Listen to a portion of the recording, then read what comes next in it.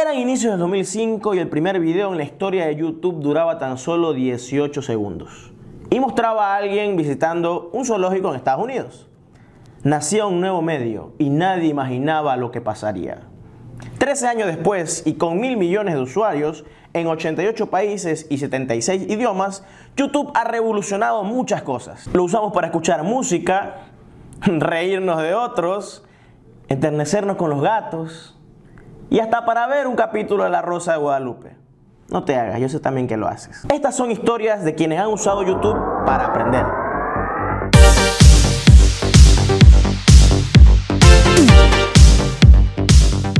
Con YouTube yo no salgo de casa, si es de hacer una cosa, la hago, pongo pausa, vuelvo a hacer el trabajo y lo termino en, el tiempo que yo quiera.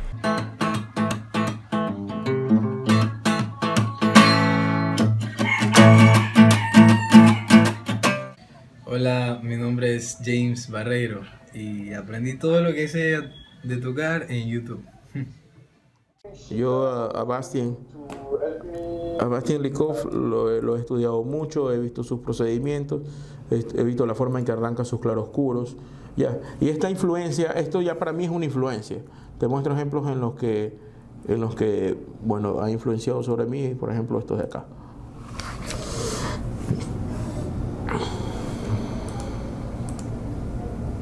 ¿Ves? Este, la forma de, de adquirir luz, sobre un realismo. Esto es un realismo digital.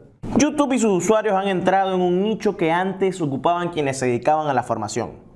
Cursos, universidades, incluso programas de televisión ofrecían conocimientos en video.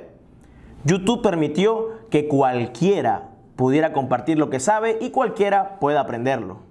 Una persona que va a YouTube está motivada por algo. Entonces ahí tengo un primer requisito para el aprendizaje, que es el de estar motivados. Y segundo, entro a YouTube y me encuentro con unos textos, estoy hablando de video como texto, estoy hablando como una intención comunicativa, me encuentro con unos textos que están eh, diseñados tal como yo quiero aprender y ahí tomo un poco de posición teórica con, por ejemplo, con el concepto de Homo de Giovanni Sartori, una generación completa de, personas que consume contenido a través de la imagen. Y entonces, como estoy motivado y el YouTube en este caso me entrega contenido como yo quiero aprender, empiezo a resolver problemas. En este fueron dos tutoriales, porque hay que aprender a hacer las florcitas. Hay que, hacer, hay que aprender a hacer las florcitas y ya el resto ya se aprende en otro tutorial. Y, pero es rápido, es rápido y fácil. Este uso de YouTube no es nuevo. Investigadores que han estudiado los medios, como Marshall McLuhan, nos enseñan que los medios evolucionan con el tiempo. Y YouTube de alguna manera se ha convertido en una escuela, en un curso, un aula que se extiende para introducirse en una pantalla y donde el profesor le podemos poner pausa.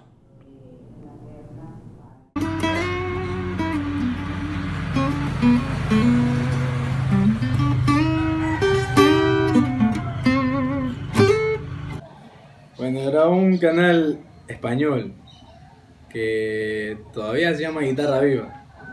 Ese que, que es bien conocido, se llama Guitarra Viva. Entonces fue el primero que me salió y yo dije, bueno, voy a ver esto. Y me gustó también porque me, me explicaba detallado todito, todito. Entonces, me gustó, me gustó. No sé por qué, pero me gustó. Por ejemplo, en el caso de Redman, que es un ejemplo durísimo de iluminación, nosotros este, asumimos que él primero hizo esto, segundo hizo esto y tercero hizo esto. Luego de, muchos exámenes de rayos X y de determinadas capas que tú dices, bueno, primero usó un pigmento amarillo, luego usó un pigmento naranja y luego, luego raspó la pintura. Ya. Pero bueno, la etapa de la suposición que ya quedó hasta ahí. ¿Con YouTube? Con YouTube. ¿Por qué? Porque yo ya con YouTube, yo ya no supongo nada, sino que veo el procedimiento. Entonces, al momento de que yo arranco este, mirando el procedimiento, adquiero ciertas nociones que a él le, le costaron años aprender. Y yo ya accedo directamente. Entonces, esto me permite avanzar más rápido. Piénsalo. Analicemos a YouTube como una interfaz. Un lugar donde se produce la interacción como la llama el teórico Carlos Escolari el usuario tiene el control total sobre cómo realiza el aprendizaje. Puedes detenerte, avanzar, cambiar de video, elegir qué aprender y cuándo. Una revolución en términos de aprendizaje. Es un video que se plantea como un tutorial, o sea, que se plantea como un paso a paso, como yo quisiera que me enseñen. A veces el profesor en la universidad, es probable en la universidad, en el colegio, en la escuela, o, cualquier persona que quiera enseñar, es probable que se, que se ponga en una posición un poco, un poco teórica, un poco, un poco por las nubes y, y, en esta relación presencial no termina enseñando a hacer algo a alguien, pero los videos de YouTube están diseñados en estos casos paso a paso. Ah, lo primero que tienes que hacer esto, lo segundo que tienes que hacer lo otro, lo tercero que tienes que hacer es lo otro, ta, ta, ta, ta y hasta que finalmente eh, terminan con el producto. Entonces, ¿por qué es tan fácil aprender en YouTube? Lo explica el autor Albert Bandura con su teoría del aprendizaje social.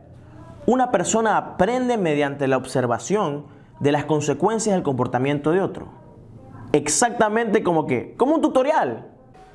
Yo aprendí a hacer, eh, por decir así, eh, aprendí más de la, acerca de la construcción por medio del YouTube. Me enseñó mi hijo hace más o menos unos 5 o 6 años, qué sé yo. Y ahí fui aprendiendo, fui aprendiendo, me fui metiendo.